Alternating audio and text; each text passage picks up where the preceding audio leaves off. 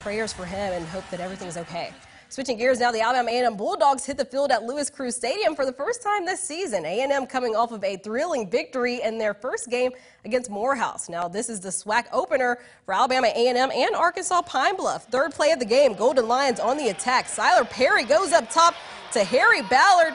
That would be good for a 59-yard touchdown. UAPB with the lead, 7 to 0. But here comes Alabama A&M. Aqeel Glass throws a swing pass to Brian Jenkins Jr., and he takes it 44 yards before being brought down at about the Lions' four-yard line.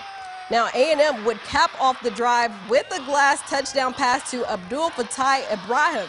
This would make the score 7-7 now. Later, it's 10 to 7. UAPB is up, but Alabama A&M goes to their workhorse. Jordan Bentley bounces it outside. He scores from 17 yards out. Bulldogs go up now, 14 to 10. UAPB coach Cedric Thomas, of course, not happy about that. But back comes UAPB. Patrick Shannon finds a wide open Tyron Roth on a 28-yard scoring play.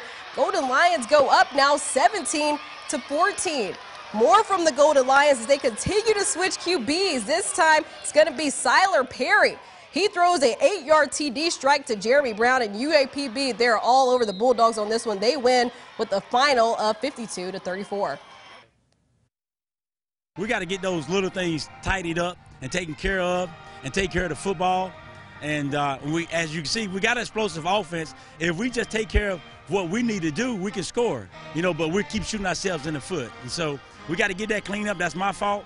Uh, I got to I got to get these guys ready to go, um, and uh, I will.